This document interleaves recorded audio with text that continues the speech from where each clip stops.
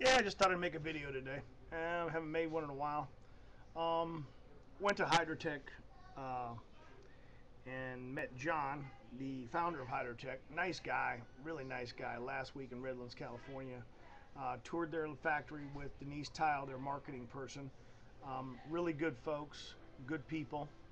Um, highly recommend that uh, you guys take a look at their equipment. Uh, if you if you haven't, it's uh, it's good stuff.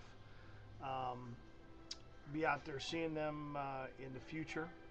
Uh, learn that they have a uh, shop there right there in Redlands and they can repair equipment, which is kind of nice.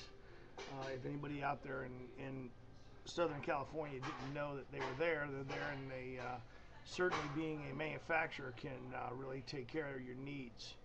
Uh, kind of a unique situation where you can actually go to the factory and get uh, equipment repaired. And they'll also repair equipment that uh, is not even Hydrotek equipment. So that's kind of cool.